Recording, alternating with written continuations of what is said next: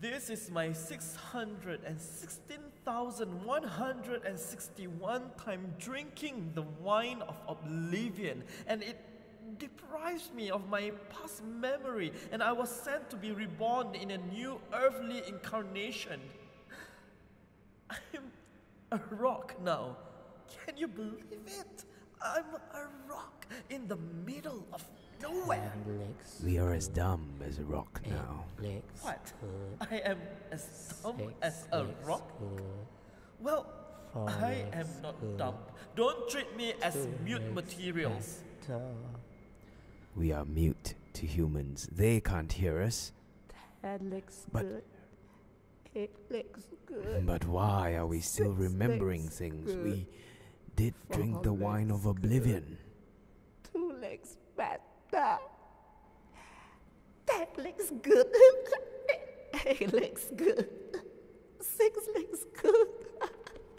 Four legs good. Two legs better.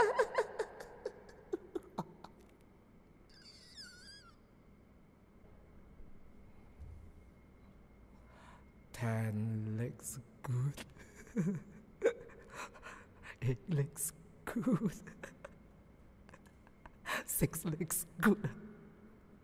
Four legs good. Two legs better.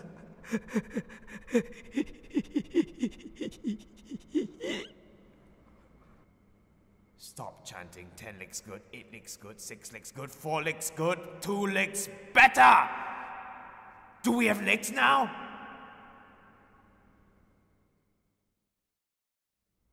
Ten legs good.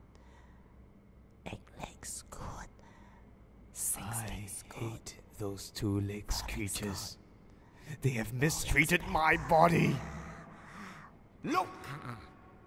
I have drawings of animal figures and objects on my body. They exploited me as a mediation to connect to the supernatural forces. Eight legs good. Six legs good. Four legs good. Two legs good. That's cool. It's rock art. You are near the shore. They believed that the universe is divided in three worlds an upper world of the spirit, a middle world inhabited by people, and an underworld of the spirits of the dead, represented by the sky, the seashore, and the sea. The transition between land and water is ambiguous. It is related to both life and death, and as such, it cannot be defined.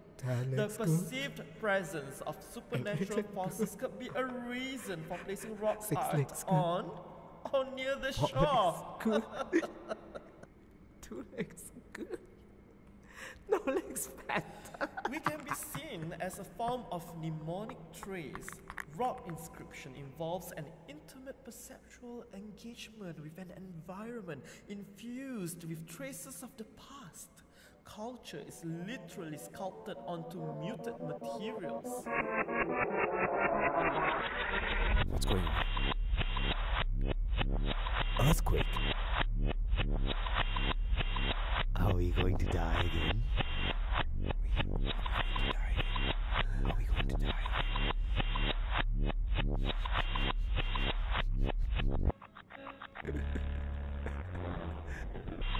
Earthquake. Earthquake.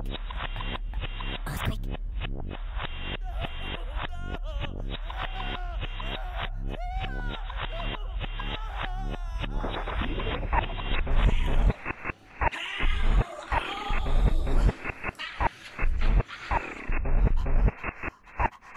One leg Nine legs good.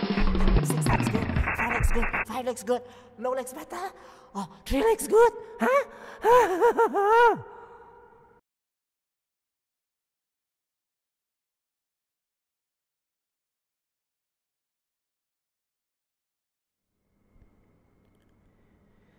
There are 3.2 billion desires at a snap of a finger. And 1,600 thoughts at every second. Our desires, commodified goods, entertainment consumption, additional decoration growing mass of image